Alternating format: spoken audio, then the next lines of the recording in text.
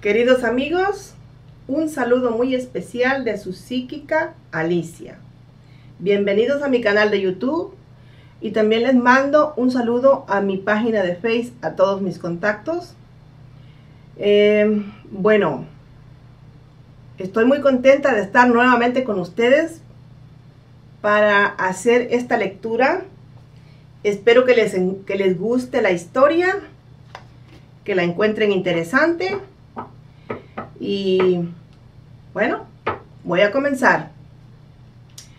Queridos amigos, he recibido una carta del público, de alguien del público, que me solicitó esta lectura de cartas y tomé el caso porque me pareció una historia bastante interesante. Esta persona es una mujer joven de 35 años, vive aquí en Estados Unidos y la pregunta de ella es la siguiente. Quiere saber ¿Por qué su madre no la puede perdonar? Dice que ella vino para acá eh, con la intención de reunirse con ella, porque cuando su mamá emigró para este país, la dejó allá con su abuela materna. Y pues estaba pequeña, tenía entre 7 y 8 añitos. Pero durante todo este tiempo, dice que durante todo el tiempo en que ella estuvo allá, su mamá siempre mandaba dinero para que no les faltara comida, casa y todo lo necesario para una criatura. Bueno, el caso es que ella, cuando ya creció, pues se casó, tuvo dos hijos, pero el matrimonio no, pues no le fue bien. Y se separó del esposo y se regresó con su familia, con la familia de su mamá y es cuando tomó la decisión de viajar para este país.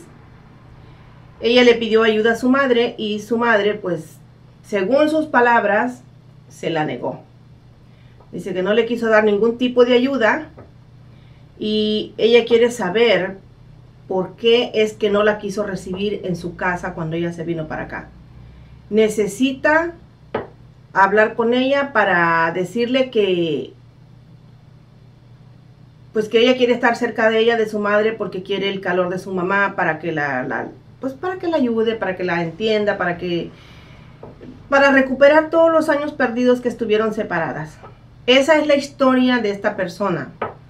Entonces yo le voy a leer las cartas para averiguar qué hay detrás de esta historia tan, se podría decir, triste y controversial, porque ella quiere ver a su madre a toda costa, quiere estar con ella, quiere comunicarse, pero la mamá se niega a recibirle llamadas e incluso no, no tiene contacto ni siquiera en las redes sociales con ella porque también no quiere saber de ella. Bueno, es triste, lamentable una situación de estas, una historia de estas, pero es por eso que tomé el caso para que para averiguar qué hay detrás de esto, ¿verdad? Porque yo a veces escucho las historias y algunas veces digo, bueno, esta historia me parece un poquito exagerada, pero vamos a ver qué hay detrás. Y es así como yo tomo los casos. La historia para que yo la tome y la lleve a un video la tengo, me tiene que interesar, me tiene que llamar la atención. Así que a todos mis amigos de YouTube que me escriben pidiéndome que les haga videos, mira, tienen que ser un poquito más específicos en sus historias. Y no como los mensajes que me dejan diciéndome, soy del signo Pisces y este Quiero saber qué va a pasar con mi vida. Hágame mi video. Yo no puedo hacer un video basado en algo así. Yo necesito saber qué hay detrás de la historia, o sea, que me digan cuál es la razón por la que quieren un video. No solamente que me digan y, que, oiga, fíjese que mi esposo este, se fue, pero yo quiero saber si él va a regresar. Hágame mi video. Esa es una historia mm, no completa. Así no es como funciona. Yo tengo que tener una historia que me cuente qué es lo que la inquieta, cuál es lo que, por lo que está pasando.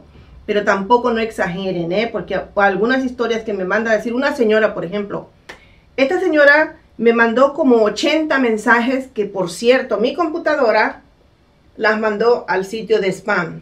Las tomó como mensajes sospechosos. Porque eran 80 mensajes, el mismo mensaje, el mismo mensaje. 80 veces entonces la computadora automáticamente me las saca y me las pone en el sitio de los spams, porque son mensajes sospechosos.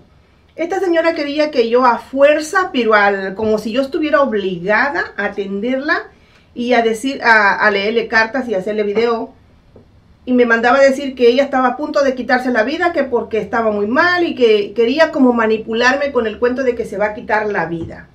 A mí no me pueden manipular de esa manera, porque yo sé cuando la persona está exagerando, quiere llamar mi atención. Si me dice que no se lleva bien con nadie, que no se lleva bien ni con sus hijos y que no tiene a nadie es porque esta persona pues no es una persona como ella misma se está pintando, como una víctima fatal y que está enferma desde hace no sé cuántos años, como 12 años por ahí dijo, y que ya está a punto de quitarse la vida y que todos los días quiere, intenta quitarse la vida. Así no van a llamar mi atención diciéndome que se van a quitar la vida. Yo les voy a decir algo la persona que quiera quitarse la vida lo hace por su propia decisión y no tiene que culpar a nadie ni chantajear a nadie con eso. Yo no puedo hacer nada si la persona tiene decidido quitarse la vida. Esa es su decisión. No puedo hacer nada. Y no porque me digan que ya están a punto de matarse, yo voy a correr a atender a ver qué pasa. No, eso es una cosa que se llama manipulación chantaje y manipulación.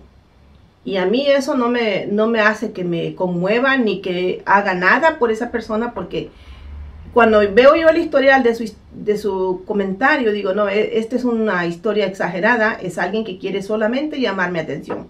He tenido varios clientes así, sí, que ya cuando los he atendido, este, son una pesadilla, en serio, ¿eh? me dicen cada cosa y quieren que yo los esté atendiendo cada cinco minutos en las redes sociales, en Facebook, por ejemplo.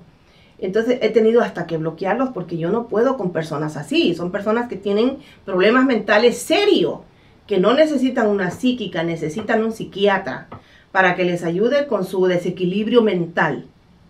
Bueno, dicho esto, voy a comenzar con la historia porque me estoy alargando mucho. Voy a leer las cartas. Esta persona es del signo Capricornio. Así que es una persona testaruda, necia, terca y que no entiende de razones más que solo las suyas. A la que le voy a leer las cartas. A la que vamos a descubrir por qué su mamá la rechaza. Así que queridos amigos, con su permiso voy a empezar a leer estas cartitas. A ver con qué me voy a encontrar aquí. Muy bien.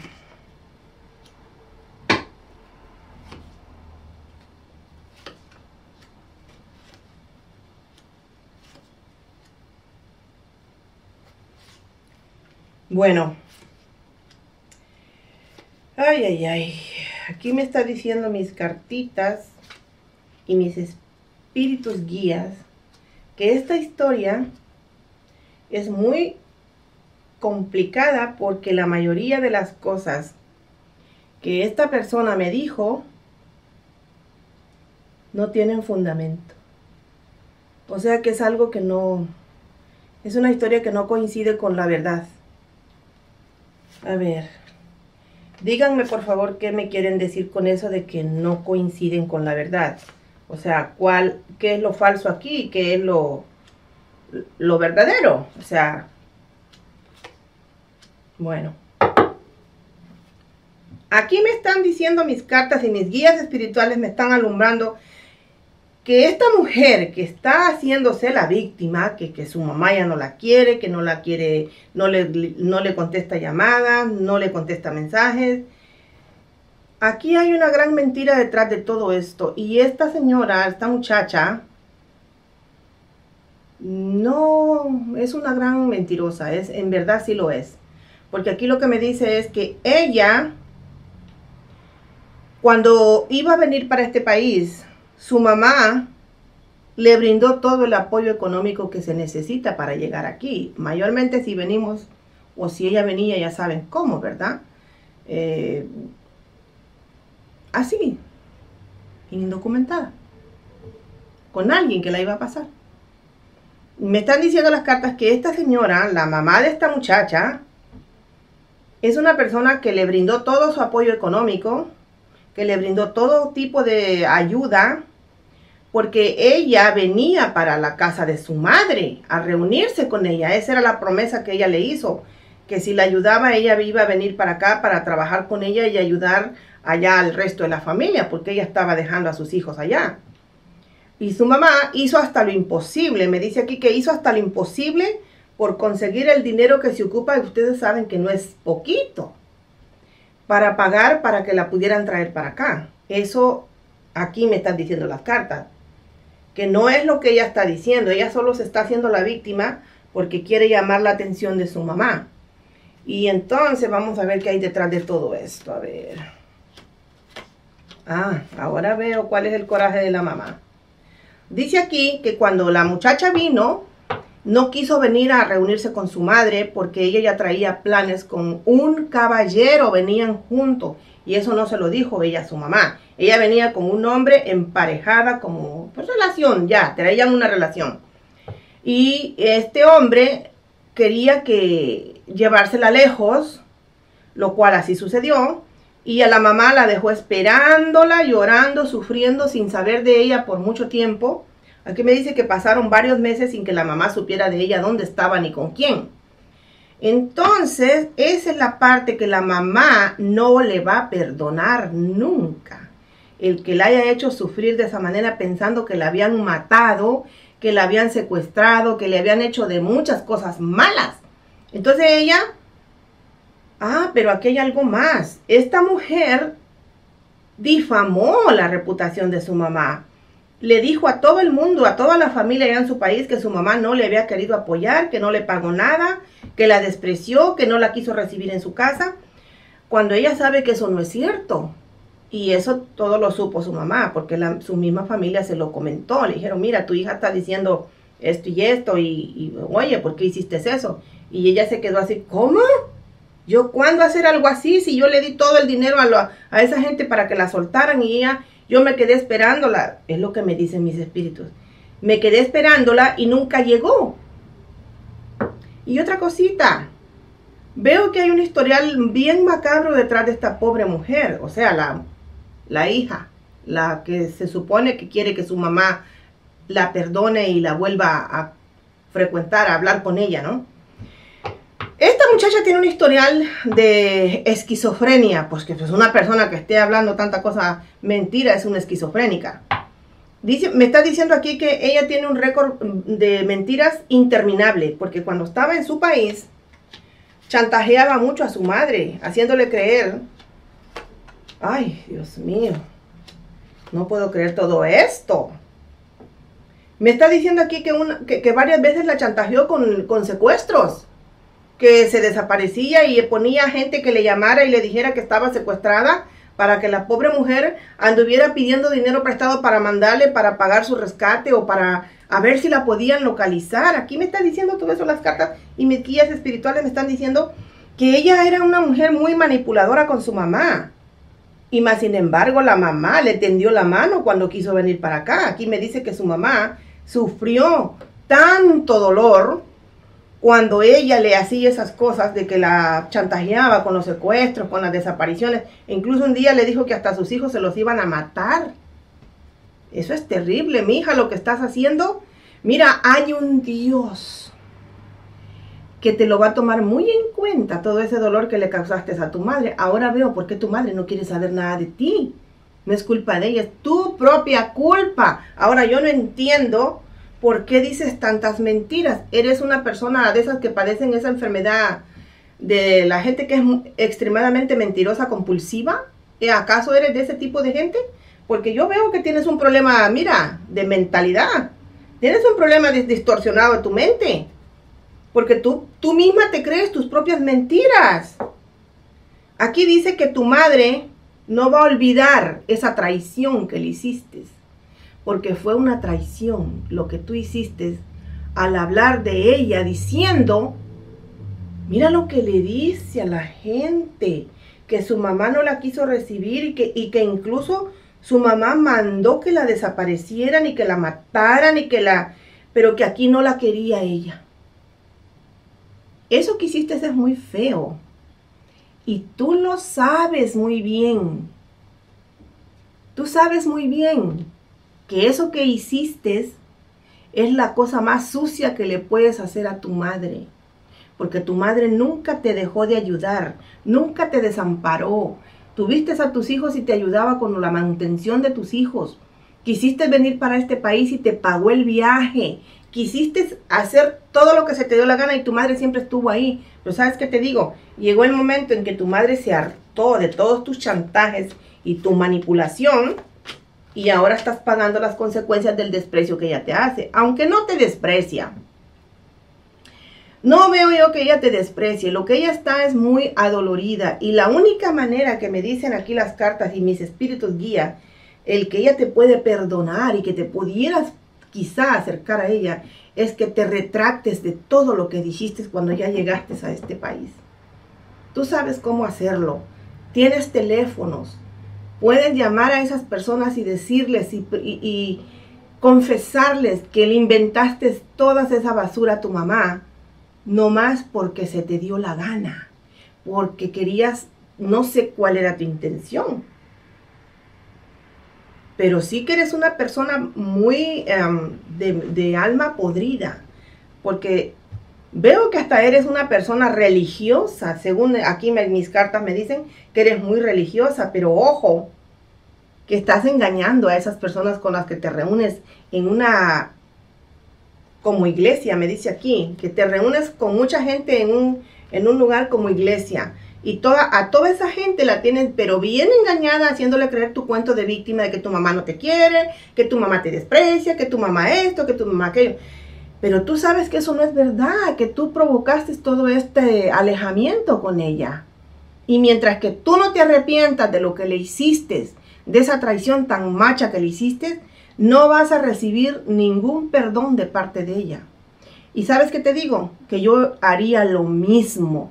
Si una hija mía a la que le he dado todo y que, le, y que la quiero con todo mi corazón me haga una traición de esas, yo también me comportaría igual, porque pues no se vale que después de que te dan todo, tú respondas con algo así tan feo. Yo te recomiendo que te arrepientas y que le pidas perdón a tu madre, pero que se lo pidas de aquí, del corazón. Que le, que le aceptes todas las mentiras que has dicho de ella, porque ella no se lo merece.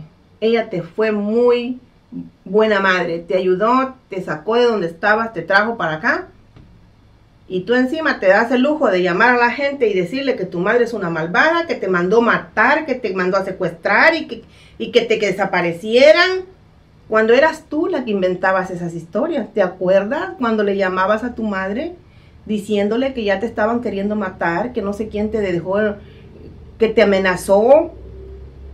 Me dice aquí que, que, que tú le llamabas y le decías que te habían amenazado de muerte y que incluso hasta se te quebraron las manos por ir huyendo cuando te caíste y de esa manera le sacabas dinero cada semana, cada semana, cada semana le estabas quitando dinero porque tú no podías hacer nada para cocinar, ni lavar, ni nada y tenías que pagar para que alguien te lo hiciera.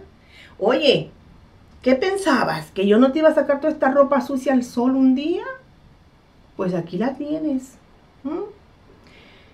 Mis, espíritus guías están un poquito alterados porque dice que esta gente no debería tener oportunidad de recibir bien de nadie, porque es una, tú eres una persona muy de corazón negro. Y si estás en esta religión que me dice aquí que eres muy religiosa, estás nada más por aprovecharte de las personas. Ojalá que estas personas que te conocen se den cuenta y te corran de la iglesia para que no sigas abusando de la gente. Bueno, queridos amigos, como ven, esta es una historia en la que ah, hay veces que yo quisiera no, no hacerlas, no sacarlas, pero es necesario porque de esta manera desenmascaro a esas personas que se quieren hacer las víctimas conmigo. Por ahora creo que es todo, mis queridos amigos. Cuídense mucho. Yo les agradezco mucho todo su apoyo que me están dando en las redes sociales. Como siempre, les mando muchos abrazos, saludos y bendiciones. Y a todos los nuevos suscriptores que están en mi página en este momento, bienvenidos. Espero que tengamos una muy buena comunicación. Y por favor, cuando me cuenten sus historias, no exageren, sean originales, digan la verdad. Porque al mentirme y exagerarme las historias, no van a llamar mi atención, no van a tener mi atención, porque yo sé cuando están exagerando. cuando están haciendo las cosas cinco veces más de lo que realmente es. Es nada más para llamar mi atención, creen que si exageran, yo voy a correr en su ayuda, a ver en qué les puedo del problema, sacarlos del problema, y así no es. Yo sé cuando la gente necesita sacar la historia, no con exageraciones. Como siempre les mando muchas bendiciones. Nos vemos en mi próximo video. Espero que este les guste y que lo compartan. Bye.